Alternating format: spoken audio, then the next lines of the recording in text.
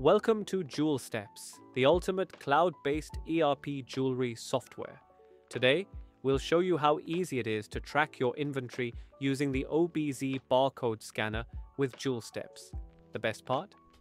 The OBZ barcode scanner costs just $45, making it an affordable alternative to expensive RFID integrations. Now let's start scanning.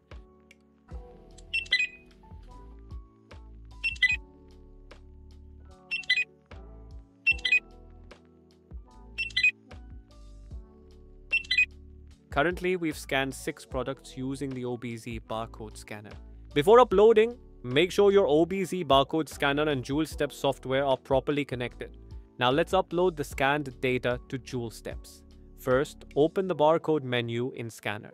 Next, on the barcode scanner, navigate to transport mode using the scanner's keys. Once in transport mode, select Upload Data and press OK. And that's it. The six products we scanned earlier are now successfully uploaded into the JewelSteps software.